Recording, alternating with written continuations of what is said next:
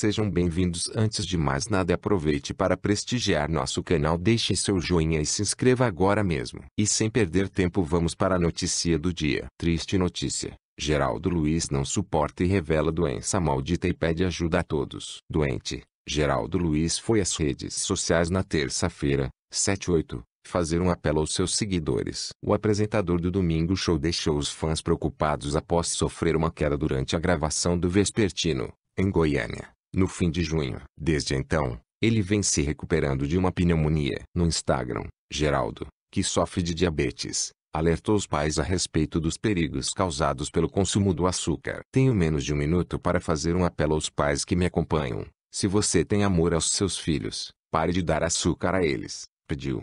E aí, o que você achou? Deixe seu comentário. Obrigado.